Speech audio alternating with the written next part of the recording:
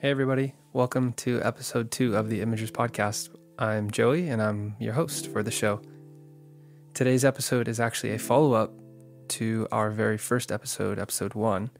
So, today I will be answering some of the questions that we got, and I'm really excited to get to them. But before we do, I just want to let everybody know that we are now streaming on all major podcast platforms. So, we'd really appreciate if you're able to share it with a friend or maybe even give us a rating. With that said, let's get into today's episode.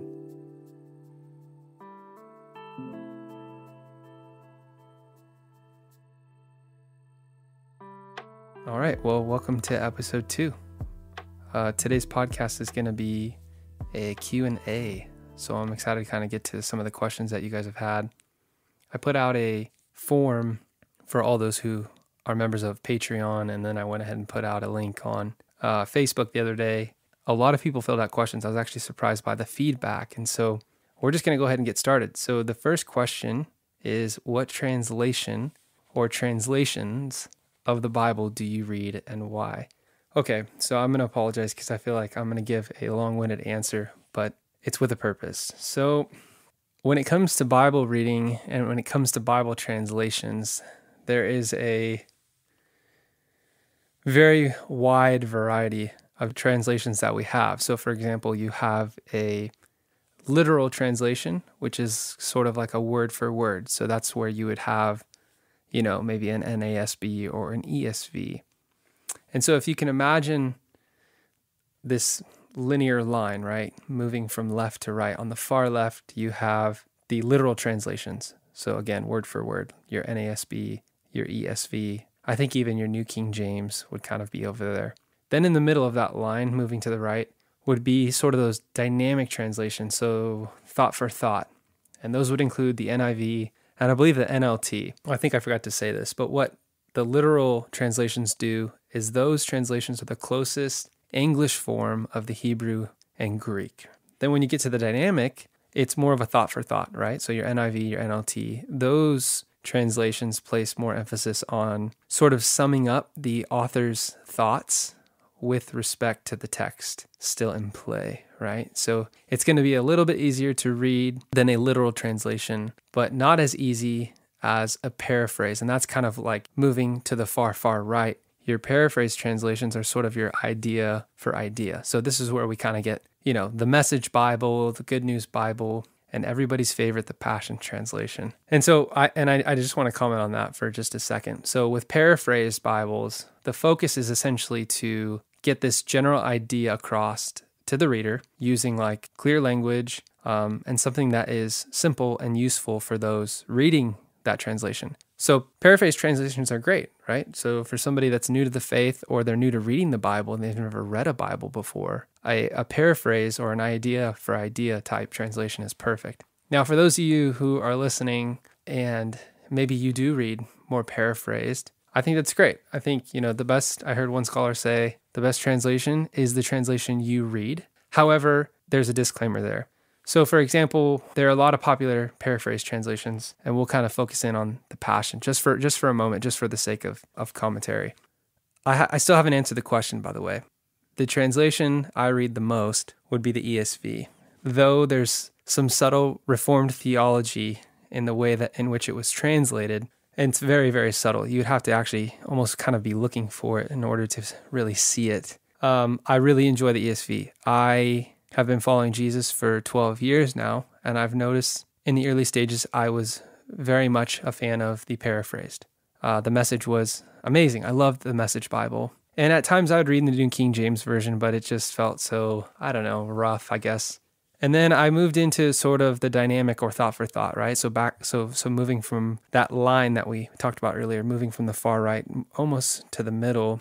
I really picked up the NLT for years, and I really enjoyed that. And then as I grew to just learn sort of the narratives and patterns of Scripture, and I really wanted to get a little bit deeper with some of like the theology behind the authorial intent or, or the biblical author's intent of why they're writing what they're saying what does it mean i moved into kind of a word for word or literal translation and so i've been there for probably the last six years or so And I really do love the ESV. Um, I also like the NASB, which is another literal translation. And the reason I do, because the question says, what translation of the Bible do you read and why? The reason I read literal translations is because those are the ones I enjoy the most. I am somebody who I want the truth at any cost, even if it proves me wrong.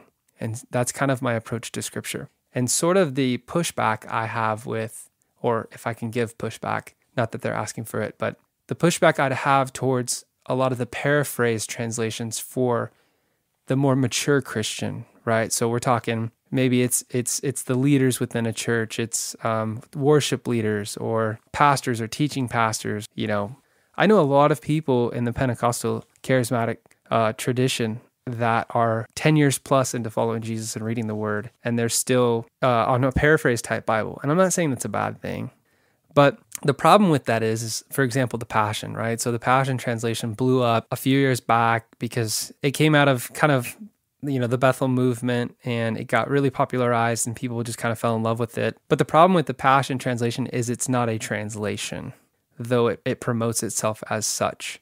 And my problem with something like The Passion is that it stretches the imagination of the biblical writers in order to meet the reader where they're at. And that's my problem with a lot of paraphrases. Now, the message, I enjoy the message because at least Eugene Peterson was up front and said, This is not a translation. This is literally for devotional type reading. Please do not use this to replace a actual study Bible.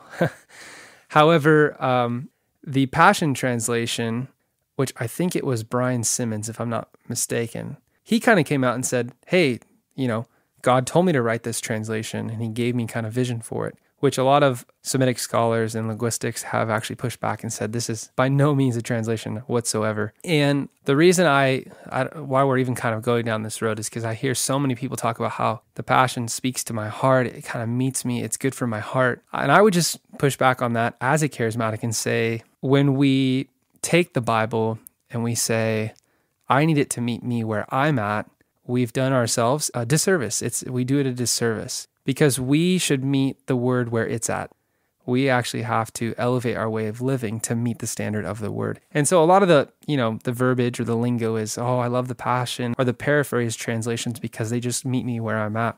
And I just think that's a bad approach to any biblical exegesis of if we're going to study the Bible in its context and we're going to get down to the meat and bones of what scripture has to say, we have to mature even within the translations. And so I don't know if that answers the question, but essentially, I love the ESV and the NASB. I like those translations that are closest to the Hebrew or Greek. And no matter what translation you're reading, unless you're somebody who's equipped to read, you know, the Old and New Testament in their original languages, it's unfortunate that you that all of us are still having to read through another person's interpretation. And so my encouragement is that i read the esv and the nasb my goal is to eventually read it in its original language. So also i'll make sure i link a, a really good article that i came across back in i think it was like 2016 about what's wrong with the passion translation specifically about it being a translation and why it shouldn't be labeled as such. So we're going to move on uh, the toughest situation, here's another question. The toughest situation you've been through that tested your faith. Okay, so when I saw this, I actually got up and I went and asked my wife, like, what, well, how would you answer this? Just because I, I just think that we've had a lot of these in our life. You know, we have moved to multiple states on what we discerned was a commission or word from the Lord without any vision. And so I was really trying to think through like what has been the toughest situation that tested my faith. Like I can I can pick out tough situations, but one one that's tested our faith would probably be when we moved to Texas back in 2017. And a little bit of the backstory was I felt like the Lord had called my wife and I and our family to move to Texas to help out with a ministry. And we had sat on that word for probably about six months. I was actually going through basic training for the Army, and I was away um, for months, several months actually, from my family. And we would have, you know, a periodic conversation basically like, I think we should, I think like we should move to Texas, you know, and I think, I think God's calling us there to serve this ministry. And so after I got back home from, from basic training and then like some advanced training that we had for, for my specific job within the military, we took a trip out to Texas and we are like, okay, if this is what the Lord is calling us to, we should just go out there and just see. And so we took a trip out there with some friends and we actually met with the vice president of the ministry. We sat down with him and we just kind of shared our heart like, hey, you know, we feel called to move here and this is what God has showed us.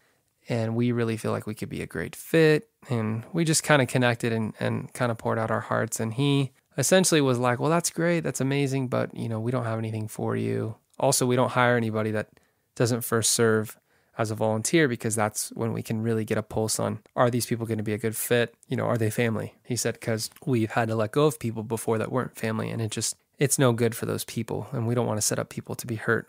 So we flew out there and, you know, we meet with him and we're like sitting on this word for six months, you know, move to Texas and, and serve this ministry. And when we get there, the ministry is like, hey, we have no need for you. And that was hard. That was hard because it was almost like, hey, we put ourselves out there and we've been rejected, you know, and then your mind starts racing like, did we hear God? Was this God? Maybe we missed it. Maybe we're just trying to be ambitious, etc. And then when we went back home, the Lord never said go and get a job with them. And that really kind of shifted our our way of approaching the situation. You know, we had our we heard the Lord and then we built up an expectation around the word of the Lord, which was go and serve them. We just thought, oh, they're going to hire us. They're they're going to hire me. And they had, you know, communicated, we don't have anything for you. And the reason it was so tough it was because at the time we had our oldest and our middle child. I didn't have a job. We didn't really have vision other than we're just going to move to Texas because God says move to Texas. And so we had, you know, family and friends be like, "Hey, you know, it's okay to pray on it. It's okay to be patient. Like, you know, you know, maybe maybe maybe it was the Lord. Maybe it's maybe it's in a future time or whatnot. And we were like, no, we really feel like we're supposed to go. And and through a series of encouragement, I think even some dreams that my wife and others were having about the situation, we just decided like, hey, we're gonna we're just gonna move. Like we're gonna we're gonna step out in faith, and we're just gonna move to Texas with our two kids. We we don't have a job. There's no promise. We don't know what's gonna happen.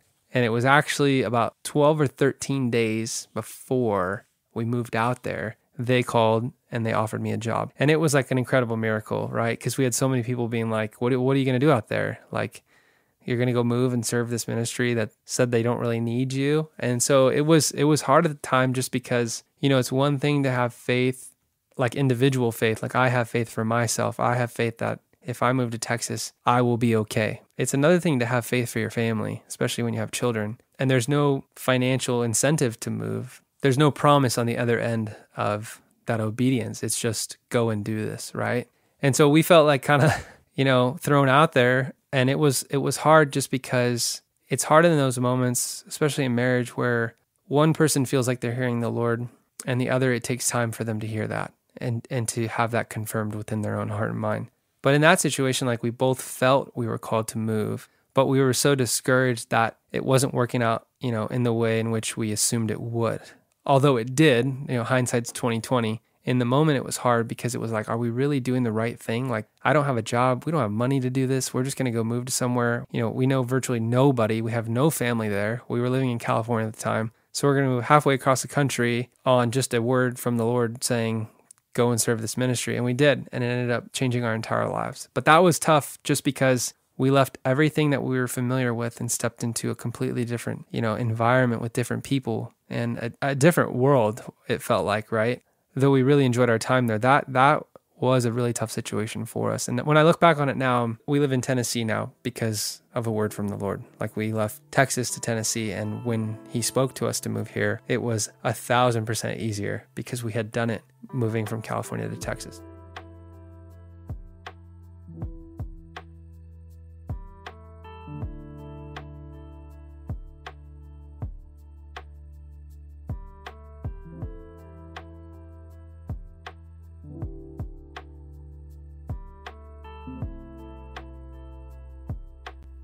All right, we're back. We're going to get into this next question. Now, I'm really excited to talk about this one. This question says, What made you become intentional about teaching theology? And what is your favorite book of the Old Testament and New Testament? Let me answer the second part of that question first. I will go with what's my favorite book lately because it often changes depending upon what I'm learning or what season of life we're in. Right now, I'd say my favorite book of the Old Testament is the book of Deuteronomy. And I'll just give the answer. I, I don't want to give a huge explanation, but right now it's Deuteronomy. And I'm really enjoying the whole Sinai narrative. I've been kind of stuck there for like the last six months. and just being able to see really the beauty in God calling out of people to himself and setting them up for uh, himself.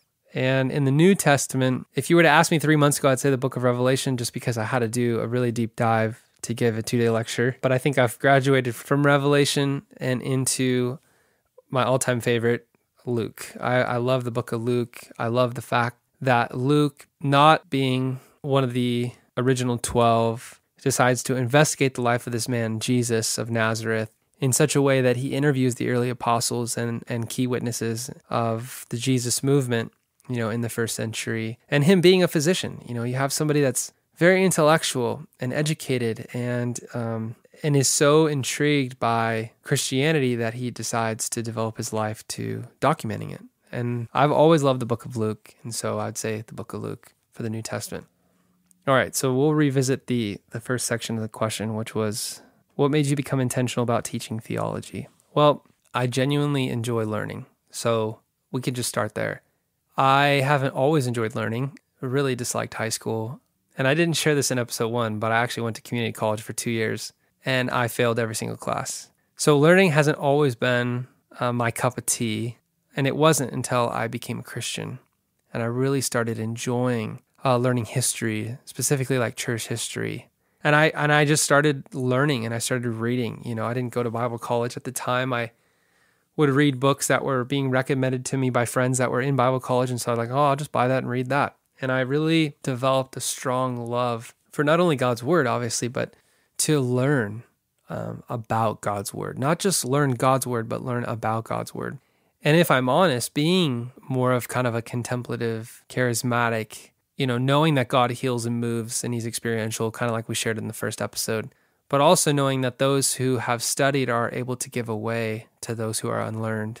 I really I wanted to take what I had learned and what changed my life and I just wanted to give it away, honestly. I never set out to teach theology. It, it kind of was thrusted upon me, you know, even in my most recent position of being a teaching pastor at a ministry school slash Bible school or whatever we want to call it. I was invited in to teach certain things and topics. And really, I was like, man, I'm just giving away what changed my life. And so it was on one side of the coin, you know, if we were to take a coin, on one side of the coin, I loved to learn and I wanted to give away what I felt like changed my life. So that was like one side of the coin. The other side of the coin was that charismatics and Pentecostals are just, we're very lazy when it comes to the word. We don't approach the text with reverence. We don't consider, you know, historical context or cultural context um, to mean really anything. And I always saw this tension of like, well, you just need to hear what the Spirit's saying about the text. And by all means, absolutely. I mean, if the Holy Spirit wrote the Bible, he's probably a really good resource to tap into. However, God chose to use the Holy Spirit to help author it with people of a completely different culture than me. And so I would be around a lot of leaders and we would talk about things like, you know, Revelation or the Torah, and they would verbally say, yeah, I really just that stuff, you know, it really confuses me, man. It kind of scares me. I don't really know what to do with it, so I don't I don't really read much of that. And that really rubbed me the wrong way because as a charismatic, I'm thinking we have to know what the word says and we have to be able to have enough of the word to give it away.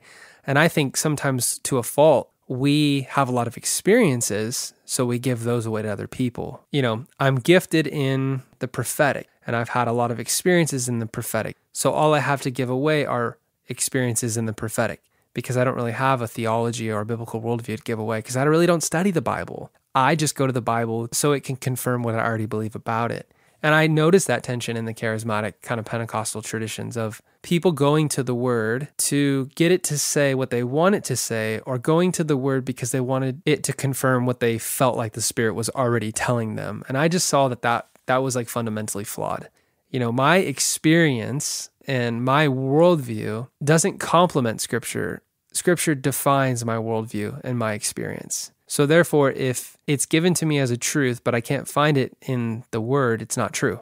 And I would see a lot of these gifted itinerant speakers and key figure leaders in the church get up and share, and they were given a platform to share. And what they were saying, I was like, this is, that's not what Paul meant. Jesus never said that. You know, uh, the apocalypse has nothing to do with the end times. That's not what that word means. And, and I say this lightheartedly, but it was hard for me to be within that environment, knowing that we're leaning more on our ability and gifting than the word of the Lord specifically scripture. And so the reason I went to learning and teaching was because one, I love to learn. So I just want to help other people learn.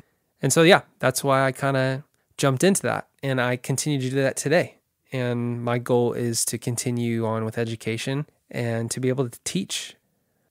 Okay, next question. What advice would you give your younger self reading the Bible that you now know that you didn't know before? Context is king. My second point would be knowing that it's not written to me, but written for me. I really wish I would have learned that early on when reading the Bible. Also, I think having a community of people around me that were very much equipped in the Word, meaning that they had a solid, you know, worldview of what the Bible was, where it came from, why it matters, how to read it, how to approach it, uh, how to recognize certain patterns and narratives and themes. I really wish I had that. Obviously, the Lord used, you know, my experience to get me where I'm at. But if I can go back, I would say to recognize that context is king. And, you know, I posted this to Facebook a few days ago and I've shared it with some that we often have this idea or this misconception that the Bible just fell out of heaven or that the Holy Spirit just fell on certain writers like Paul, you know, and Timothy and Peter and John. And he just fell on them and they went into some like other dimension or trance and just started like writing down everything that the Holy Spirit was showing them. And when I learned that that wasn't necessarily the case, that actually the Bible is as much human as it is divine, and it is divine as much as it's human, that really shifted a big paradigm to know that the Bible was written by human authors and that they wrote it within the context of the guidance of the Spirit, but that it was written by humans. And knowing that, well, if it was written by another human, you know, 3,000, 2,000 years ago, I probably should pay attention to the sort of life and worldview and culture they lived in before I can really, or at least adequately, answer or approach where they're coming from, especially during like Bible study, right? So, my advice would be if I can go back, I would tell myself to slow down, recognize that it's written for me, not to me, that context is king. So, the cultural and historical context are my first priority. Then, if I can navigate you know who wrote it why they wrote it when they wrote it what were they doing when they wrote it who did who are they writing to? And navigate all the truths within that i can really discern for myself what the spirit's saying to me about this. That's probably what i would go back and tell myself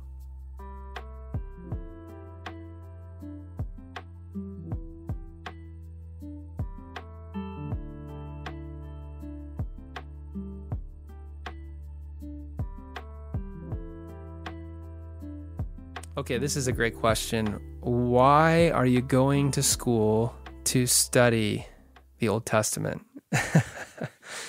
it almost sounds like it's a pejorative term, the Old Testament. It's kind of got some negative vibes to this question. At least that's what I'm assuming. Well, for a long time, like anybody, I was definitely infatuated with the New Testament. I mean, the New Testament has Jesus, therefore it wins, right? And so I was stuck in the Gospels for years. I loved the the letters and epistles from Paul. Revelation for the first few years, I, I didn't stay away from it, but I also didn't like stay within it, if that makes sense. And so for the first probably, I don't know, six, seven years of, you know, walking with Jesus, I really loved the New Testament. I mean, I still do. But by all means, when I started reading the Old Testament and I really started studying the Torah and the prophets and the writings, I was blown away with how much the Old Testament carries over into the New Testament. You know, I heard one scholar say the New Testament is just footnotes for the Old Testament. And I like that. That when you get to the new, you're like, oh, yeah, this is totally paralleled. And the authors are totally trying to connect what Jesus is doing here with some of these key figures in the Old Testament. So, focusing on the, the Old Testament and learning Hebrew, I've noticed already, and I've probably only been studying it for like four, maybe five months. I'm already noticing by learning Hebrew and learning to read in Hebrew that there are a lot of misconceptions and mistranslations that we have in a lot of our English version Bibles. And this kind of goes back to, you know, the first question of the episode of, you know, what version do you read and why? You know, when you learn a biblical language or when you start learning an original language, there's a lot of things that jump out to you that when you're reading something, let's say in Genesis, and you read it in Hebrew, you recognize that, oh, wow, the writer did that like three or four times in the first few chapters. He's trying to connect something for his audience. He's trying to show his audience a bigger picture, right? So, for example, I've heard this used like when you're watching a movie, and anybody that loves movies, my wife and I love movies, we watch movies all the time. There are certain points in movies, whether it's a plot or whether it's a, you know, a phrase that an actor or a supporting actor will say and it kind of sticks out to you and you know I think that was an important piece of information. I bet you the movie's going to revisit what just happened at some point later on. Like, you know what I'm saying? And you realize that the, the biblical authors do that all throughout the Old Testament, and they're trying to link all this information.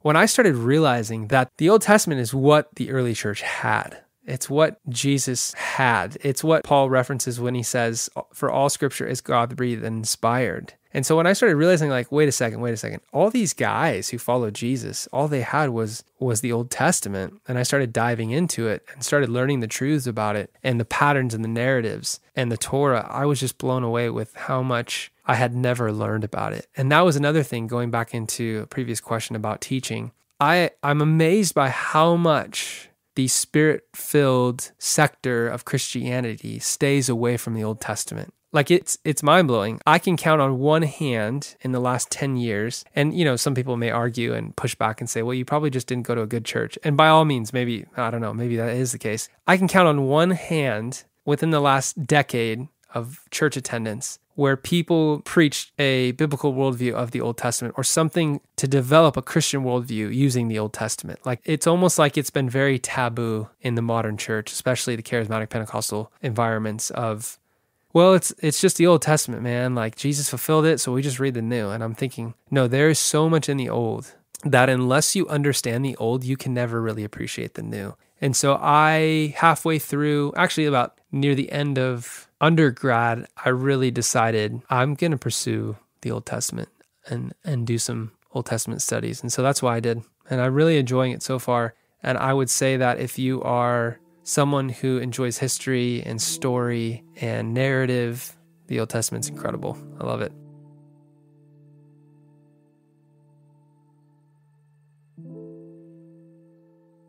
Hey, thanks so much for listening to today's episode. If you are enjoying this episode, I would encourage you, if you haven't yet already, go back and listen to episode one. I kind of share a little bit about my history and how I came to faith uh, and became a follower of Jesus. Also, if you want to share this episode with a friend or others, feel free to do so. Also, we'd love if you gave it a rating and maybe subscribe to the channel. Pretty soon, we're going to have some special guests on that I will get to interview and ask questions. And if you're a Patreon member, you can send in some questions. We'll have a form that'll be going out to you soon. But if you're not a Patreon member, for as little as $5 a month, you can become a member of the show and essentially, what it does is it just allows us to kind of build some finances to buy some more gear. I really want to do some live video, live stream podcasts where people can kind of jump on and chime in by way of comments, whether that be YouTube or whatever platform we end up using you can become a Patreon member for as little as $5. And I want to thank all the Patreon members. You guys are incredible. You've been so encouraging and supportive. And so thank you for that. If you want to become a member, you can click on the link in the show notes below. And with that said, thanks so much for joining today's episode, and we'll see you on the next one.